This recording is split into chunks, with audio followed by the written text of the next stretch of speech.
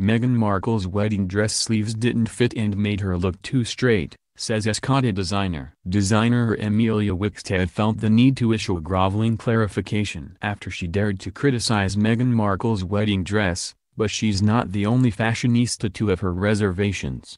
Megha Mittal, boss of the Escada label, tells me the Givenchy bridal gown needed some more tailoring. It was nice, simple, clean and minimal, but the sleeves didn't fit, Megha says at a party at the Kensington mansion bought by her Indian steel tycoon father, Lakshmi Mittal.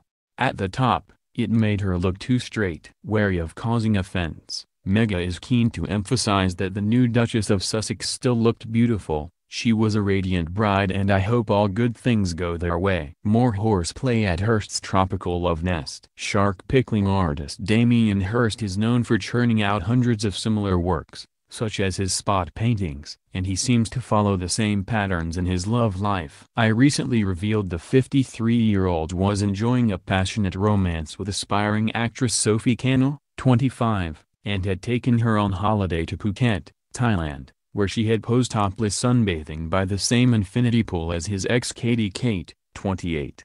Now, his previous lover, the model Roxie Nafousi, 27, reveals that they were taken at his holiday home and declares, I was the first. Roxie arranged for this picture of her to be taken while she performed the pigeon pose yoga position while wearing the unicorn's head. As you do. Is Jagger's ex-Noor up to her old tricks? Still strutting his stuff on stage at 74. Is Sir Mick Jagger just as virile after his concerts? His 22-year-old ex Noor Alfallah cheekily shared a snap on social media on Tuesday of her lying in bed wearing only a bathrobe. The striking Kuwaiti-American heiress was reading a British newspaper and appeared to be in this country, possibly at the Lowry Hotel in Manchester, where the Stones performed that evening.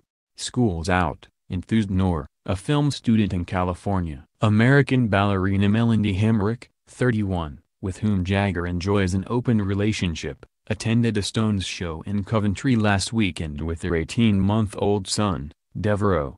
In April, Noor posted a snap, inset, of her and Jagger snuggling up next to bandmate Ronnie Wood and his wife Sally. Good times. See you soon, Sally told her. It was swiftly followed by a post from Hamrick of Mick on the beach with Deveraux on his shoulders. The singer, who is also a great-grandfather, later admitted, on the last tour, 2017, I did make one or two mistakes. I got a bit over-exuberant on the after-show front. A friend of Jagger suggests Noor's snap is an old one. Isn't she mischievous? Baby Joy 1.